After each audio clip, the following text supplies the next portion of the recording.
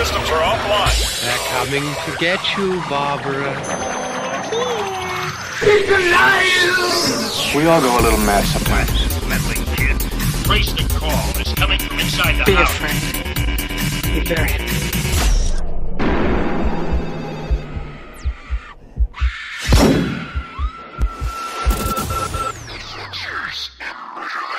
How's it going, people? And welcome to episode six.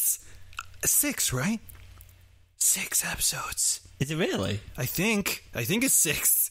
Six of Adventures in Murderland. We are a true crime comedy podcast focusing on the LGBTQ plus community, hosted by me, myself, Mike James, and the peaches to my beaches, Uh, Alan Cassidy. I don't Hi. know. I just I started that and I did not know how to finish that. Um, okay, so uh, as usual, anything happening in our lives? I think not. No. Nope. Okay. Nothing well, is. But no. Nothing ever happens. We live the most boring of lives. Um, that's fine because more time for the grisly murders.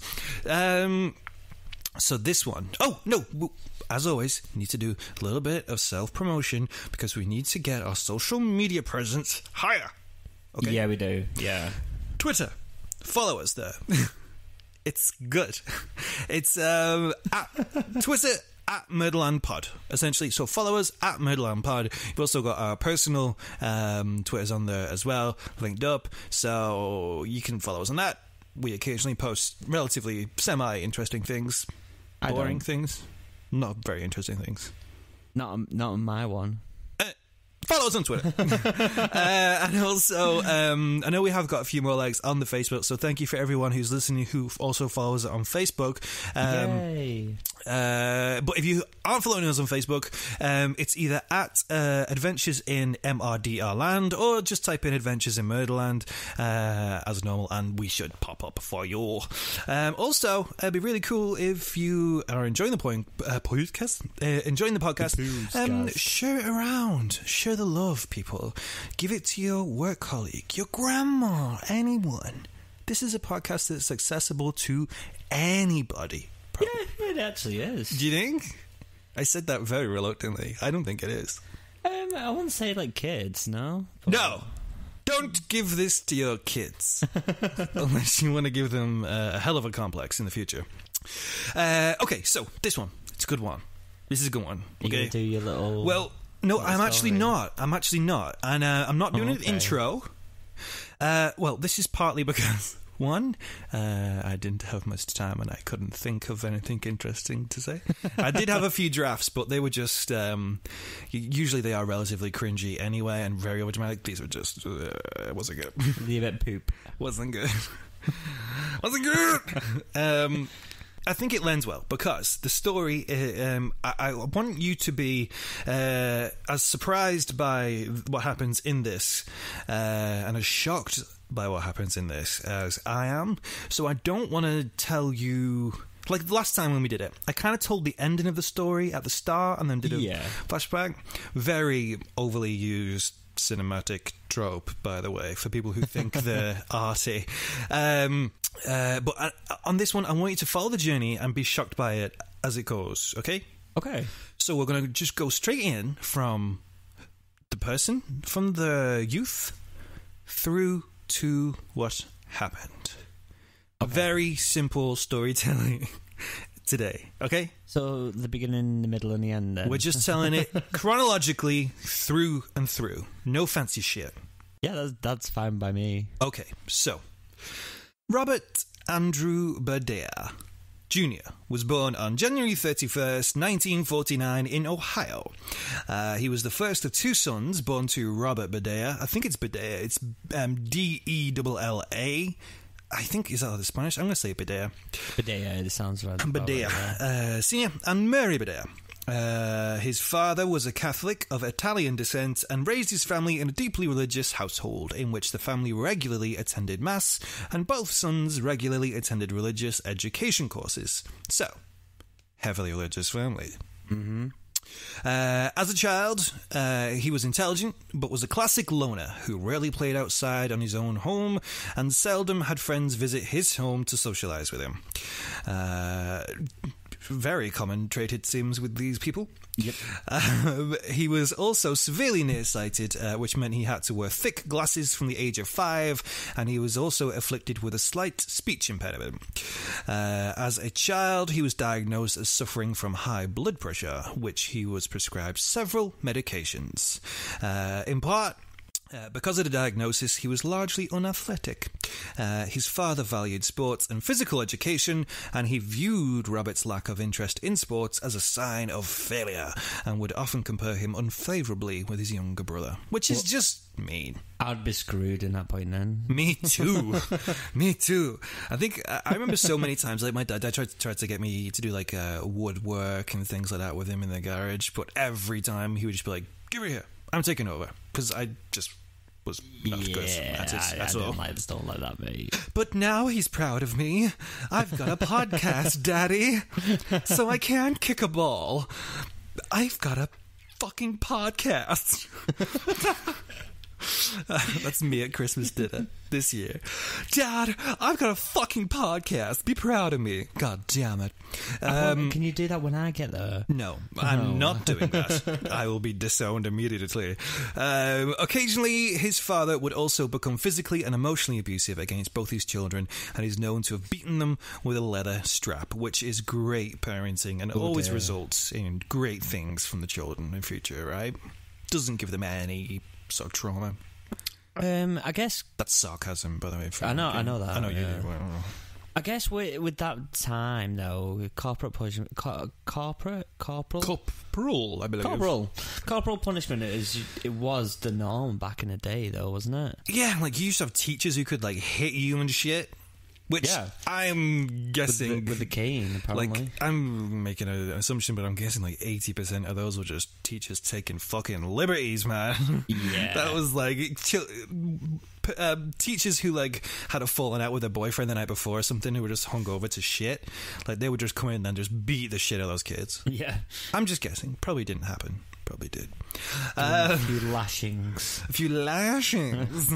um, uh, he did well in his studies, uh, but was often the recipient of bullying by other students.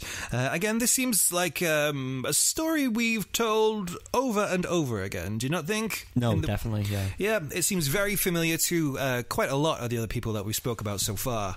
Um, when he reached puberty, um, he re- realized he was gay. Um, initially, he kept this a secret, and he would not become open about his sexuality for several further years.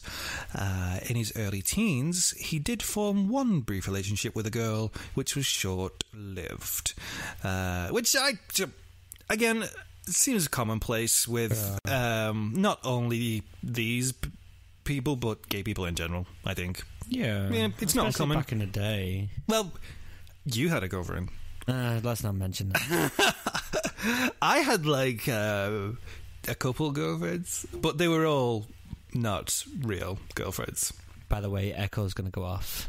Oh no, she won't. Sorry. Oh. Not sure. Fuck off! Fuck off. Um, by his mid-teens, he by his mid-teens he started to grow an overly self-confident and condescending attitude, especially towards women. So yeah, sounds like a dick. Okay.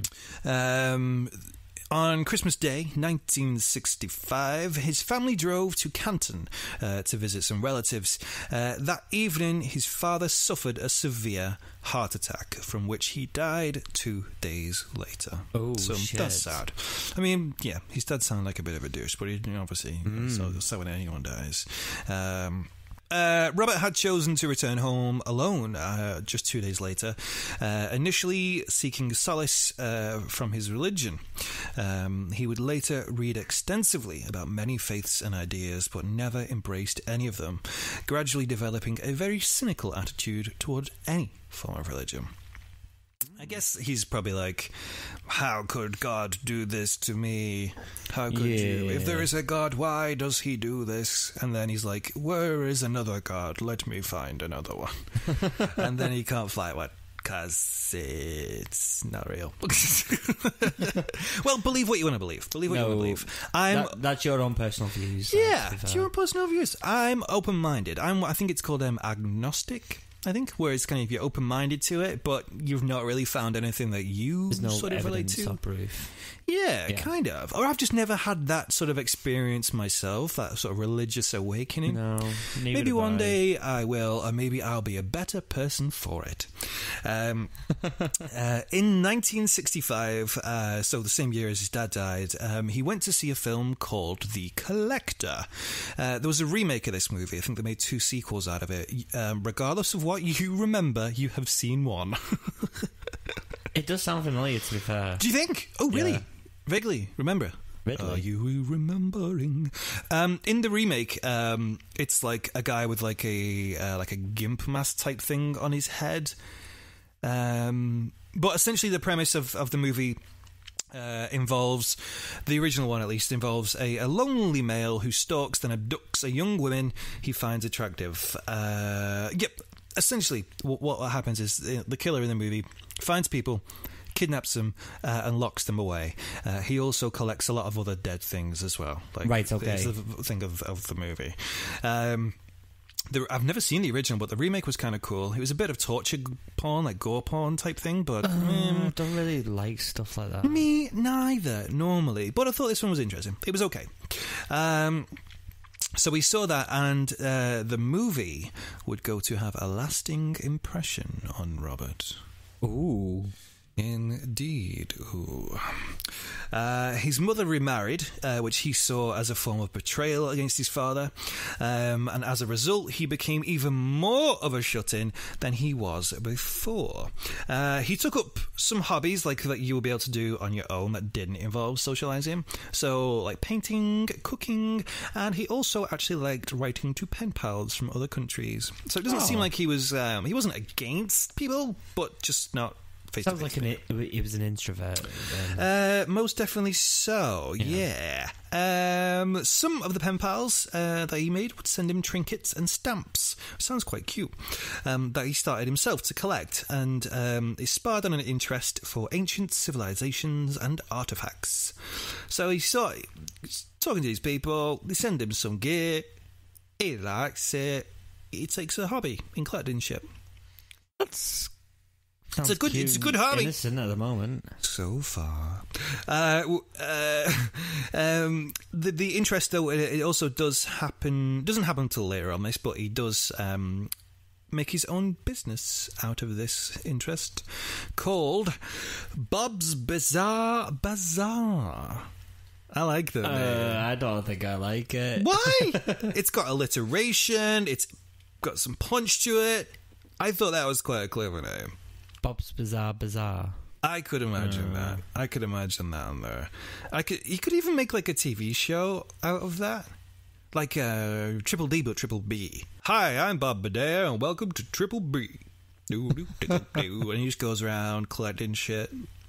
Could have had a different future ahead of him, uh, but he didn't. Um, before all that happened, though, um, he graduated uh, from uh, Cuyahoga, Cuyahoga Falls High School. Definitely pronounced that wrong. Um, achieving extraordinary high grades. Uh, one teacher even placed him in an independent study program. So again, Oh. um, not all the time with um, people like this, uh, but you do find that even though they are socially uh, slightly inept, they are quite intelligent Yeah. people academically. Um, uh, after graduation, he relocated to Kansas City, uh, where he enrolled. That's not what Kansas people sound like. Where he enrolled in the Kansas City Art Institute with aspirations of becoming a college professor. Uh, in his first year, he was considered an attentive and extremely talented student, although by his second year in art school, he started to become vocally anti authoritarian. So he hated being told what to do, essentially. Okay. Um, He also became acquainted with a clique of students who supplied him with drugs, uh, which he then sold to other students at a profit. So, quite uh, for someone who is buying drugs, it's quite a clever thing to do, I guess, when you're young. Uh, mean, I wouldn't encourage getting into drug dealing. It can get you in all Oh, sorts of trouble. uh, but um, yeah, I, yeah, yeah, he made some money. Uh, but it was it, it was at this time he began regularly abusing alcohol as well. Uh, he also engaged in acts of